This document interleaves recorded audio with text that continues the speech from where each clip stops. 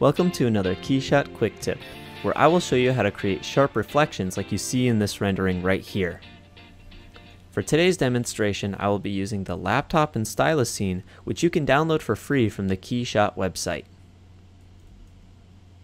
In order to create our sharp reflection, we will be creating a custom HDRI.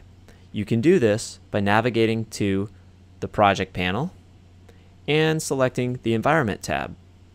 To launch the HDRI editor, you can either click the HDRI editor button or double click the thumbnail of the active HDRI. This launches the HDRI editor, which is a pro feature.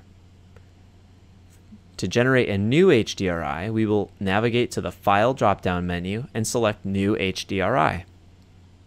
By default, the background will be set to a value of pure black.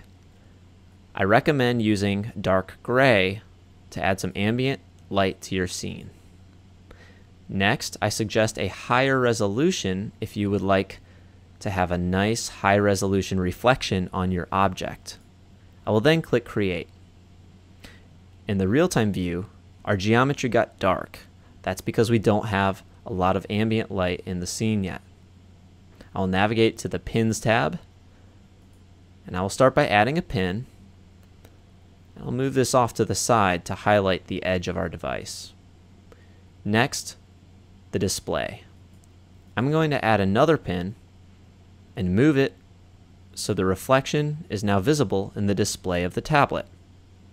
I'll change that from a circular shape to a rectangular shape, and then I will click the half pin checkbox. This masks out half of our pin. I will reposition it right to where I want it. Now I can control how feathered this reflection is by using the fall off slider. When I increase the fall off, the pin starts to fade. So we have a harsh, sharp reflection that fades out. I can always see what this will look like when I render out my image by clicking the Generate High Resolution button in the HDRI editor. This gives us a more accurate representation while working in the HDRI editor. Since I like this, I will click Save, and I will save my HDRI.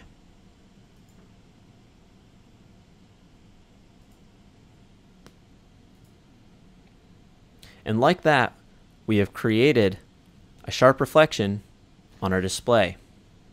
Using half pins are a fast, easy way to gain control over reflections and can be used to elevate the quality of your rendering.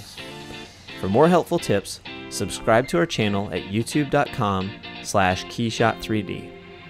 Go to keyshot.com slash learning for more videos, tutorials, and quick tips.